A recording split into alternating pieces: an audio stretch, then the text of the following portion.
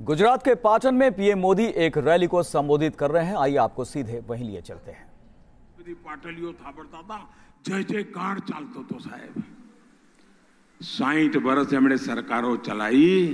અને અગિયાર નંબરે પહોંચાતા આ ચાય વાળો જેને આટલી ટ્રેનિંગ હતી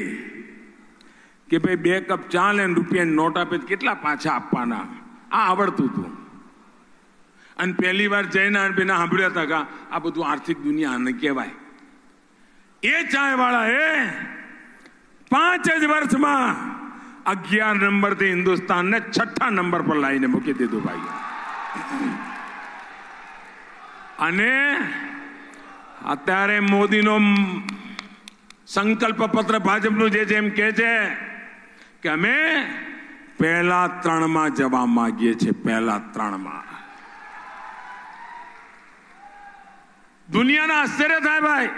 હમણાં અર્જેન્ટિનામાં મિટિંગ હતી અહીંયા તો એમ ચલાવે એક જ વાત મોદી વિદેશ ગયા મોદી વિદેશ ગયા મોદી પેલા જતા હતા ભાઈ પણ એ જાય ત્યારે ખબર નહોતી પડી કે અહીંયા કઈ ખાલીપો લાગે અને જ્યાં ત્યાં ખબર નહોતી પડતી કે હાજરી ખબર પડે હું તો જઉં તો એ ખબર પડે ખાલી પો અને પહોંચું તો એ વાતે ગાતે ખબર પડે કે આયા છે. આ ફરક છે ભાઈ. અને હમણાં એક મોટ, મહત્વની મિટિંગ થઈ. હિન્દુસ્તાનના મીડિયાના ધ્યાનમાં જ નથી આવ્યું આ બધું શું ચાલે છે, એ મુસીબત છે સાહેબ. અર્જેન્ટિનામાં જી ટ્વેન્ટીની સમિટ હતી. આ જી ટ્વેન્ટીની સમિટમાં બે મહત્વની મિટિંગ થઈ. એક મિટિંગ થઈ રશિયા ચાઇના ઇન્ડિયા બીજી મિટિંગ થઈ અમેરિકા જાપાન ઇન્ડિયા